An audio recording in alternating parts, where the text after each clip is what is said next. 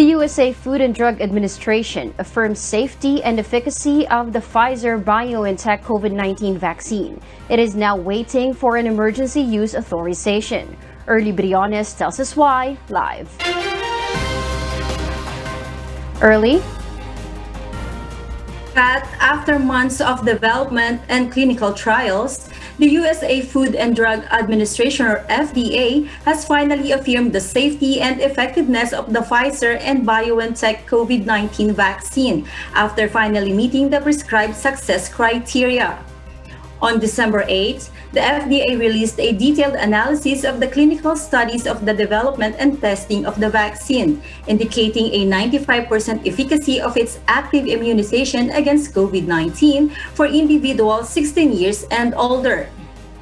The Pfizer vaccine is a two-dose injection given 21 days apart with an 82% effectiveness against severe presentations already observed on its first dose. Side effects were proven to be minimal with fatigue, headache, muscle pain, and the swollen injection site being the most common. This Thursday, health experts, including the Vaccines and Related Biological Products Advisory Committee, are to evaluate whether or not the shots may actually be effective against COVID-19 prevention and if an emergency use authorization will be granted. Meanwhile, Britain has become the first Western nation to have already approved the Pfizer vaccine in its mass coronavirus vaccination program, ordering 40 million doses, and with 800,000 doses set to be administered to hospitals in the coming weeks.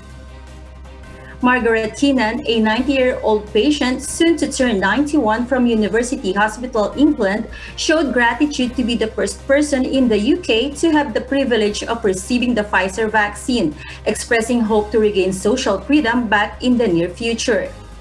With UK taking the first step, other countries including Canada, Brazil, and Germany also accelerate their vaccination plans into reality by, by January of 2021, with Pfizer vaccines expected to produce up to 1.3 billion doses in the same year.